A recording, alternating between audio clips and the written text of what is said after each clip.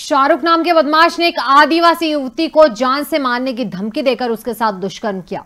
Police ने इस मामले में तत्काल एक्शन लेते हुए आरोपी शाहरुख को गिरफ़्तार कर लिया है। सतवास के कांटाफोड़ थाना क्षेत्र में शाहरुख नाम का बदमाश ने एक आदिवासी युवती को जान से मारने की धमकी दी और उसे हरसुद के जंगलों में ले गया, जहाँ शाहरुख ने ज़बरदस्ती उसके साथ दुष्कर्म किया, जिसके बाद पीड़िता ने अपने परिवार के लोगों को जानकारी दी और वो उसे लेने पहुँचे। पीड़िता ने बताया कि शाहरुख ने उसे शादी का झांसा देकर पहले भी कई बार उसके साथ ज़बरदस्ती शारीरिक संबंध बनाए। इस घटना का पता चलते ही आक्रोशित होकर हिंदू संगठन के युवा कार्यकर्ता थाने पहुँचे एवं लड़की को न्याय दिलाने की बात कही।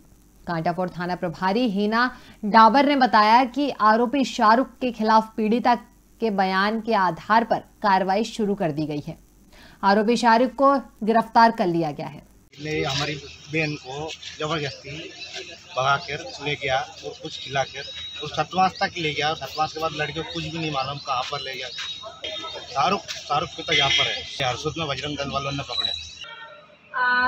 पीड़िता लाल खेड़ी की रहने वाली है। उसने आज अपने पेरेंट्स के साथ थाने को उपस्थित हुई। उसने बताया कि लोहारदा का एक लड़का है शाहरुख। कई दिनों से उससे बातचीत करता था।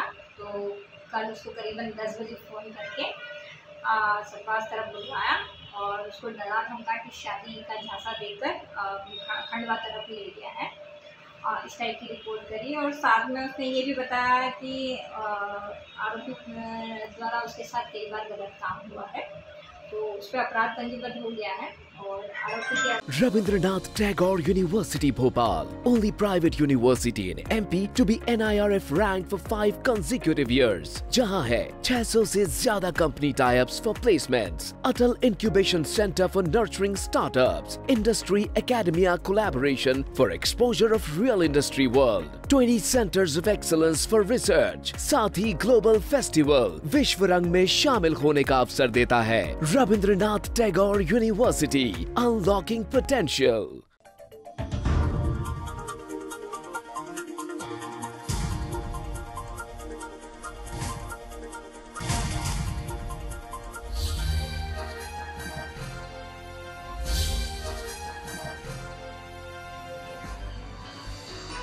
आप देख रहे हैं दखल न्यूज़।